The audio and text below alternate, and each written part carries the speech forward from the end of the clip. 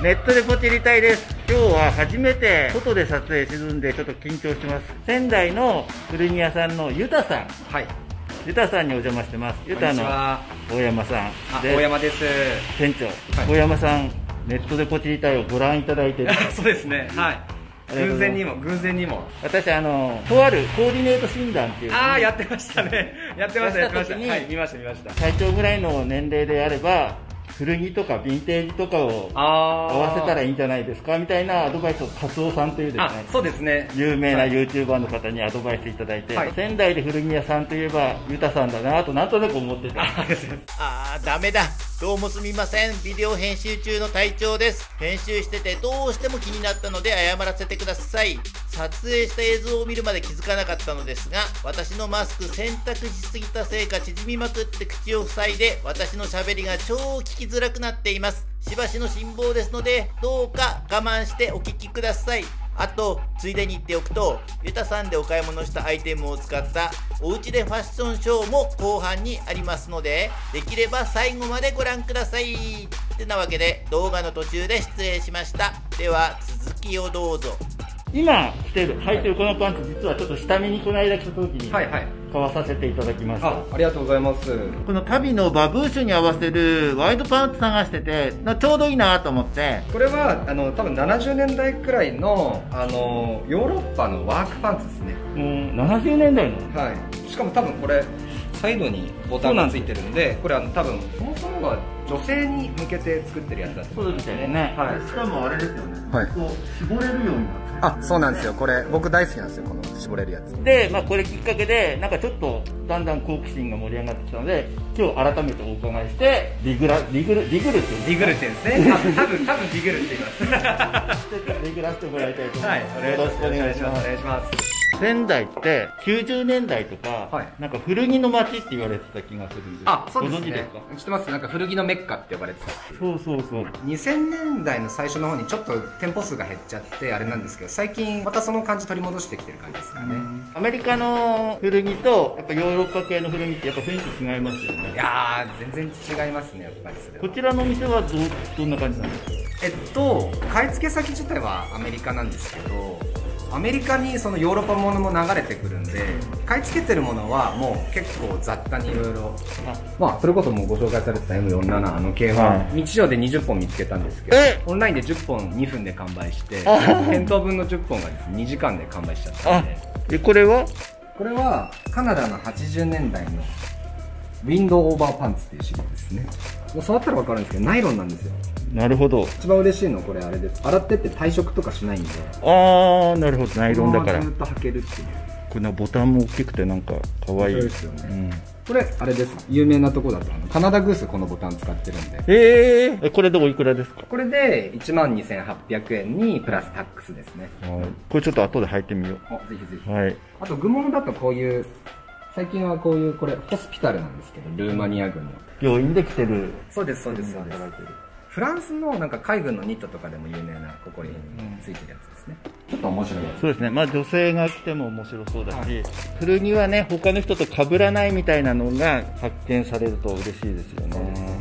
同じ柄はほぼ見ないで。すよね。なんか選ぶのは楽しいかなと思います。ねそれどこで買ったの？って言って古着だよっていうのはちょっとかっこいいです。よ ね確かに。マルジェラだよって言うと、はい、またマルジェラかって言われる。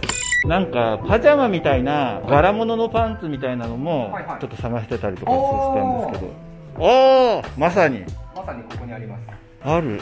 で台本用意してたわけでもなく。そうです。ちょうど昨日入荷しますね。用意してたわけじゃない。一応上下ですね。私の中では次はパジャマが来ると思ってるんで。試着していこうかな。どうでしょう？あ。あいいですねだいぶ。サイズたっぷりしてていいんじゃないですか？病院から抜け出してきた人に見 どうしても洋服を買いたくて。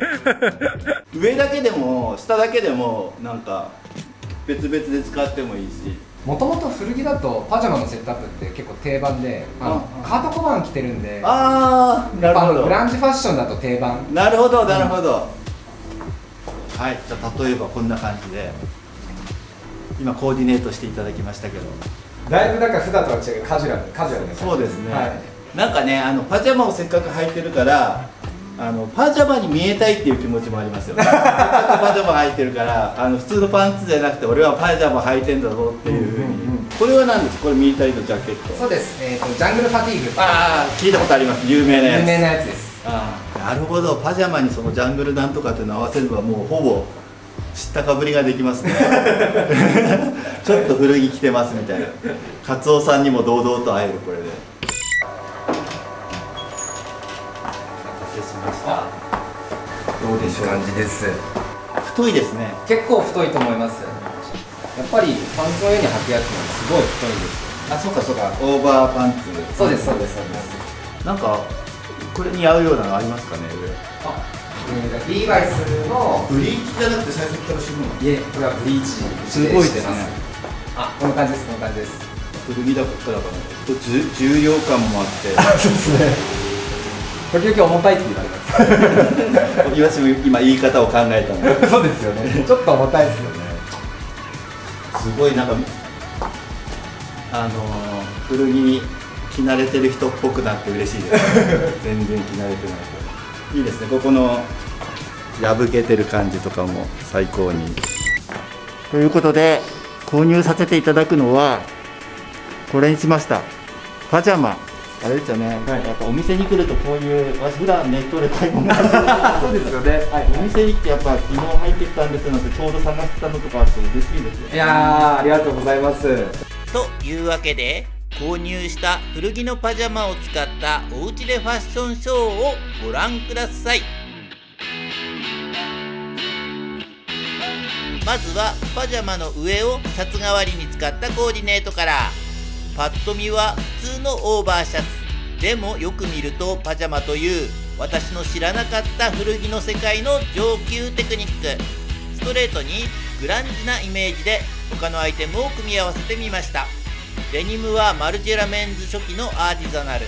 破れているのは元からではなく私が履きすぎたせいです。おかげでグランジなコーディネートにぴったりなアイテムとなりました。同じくマルジェラメンズ初期のニットを使ったヨレヨレベルトをチラ見せさせているのも私なりのグランジスピリットです。ネックレスはワークスタッドミュンヘン。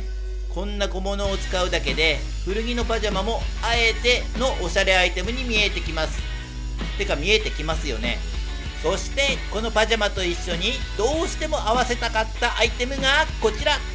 アリシヒのカート・コバンいやカート・コベインを忍んで作ったと思われる昨年のベトモンモヘアカーディガン。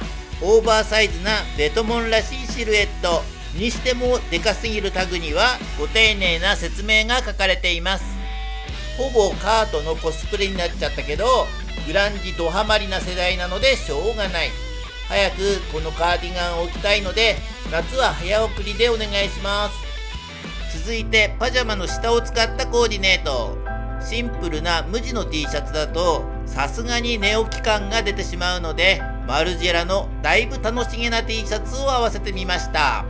レザーのネックレスやブレスレットはマルジェラメンズ初期のものです。申し遅れましたがスニーカーカートならコンバースを履くのでしょうけど私は持ってないのでゴールデングースのすっごく昔のハイカットを合わせました。いずれにしろ T シャツとパジャマだけだとちょっと気合が必要なコーディネートかもしれずそんな時にはコートを羽織ればパジャマ感がいい感じに馴染んでくれる気がします。こちらのコート90年代のマルジェラ6ラインが発売された初期のもので当然レディースなんですけど小さめながらも肩幅ギリギリで着れると思い切って購入したもの。それ以来20年以上なんだかんだとその時の気分に合わせて様々なコーディネートを楽しんできた思い出の一着です。まさかパジャマに合わせる日が来るとは思ってなかったのでファッションの未来はまだまだブルーオーシャンだなーって思いました。てなわけでこれまで挑戦してこなかった古着を購入し新しい扉が開けた気がする私。これからのコーディネートにも何らかの広がりが発生しそうで楽しみです。っていうか楽しみにしていただけると嬉しいです。それでは次の動画まで。おやすみなさーい。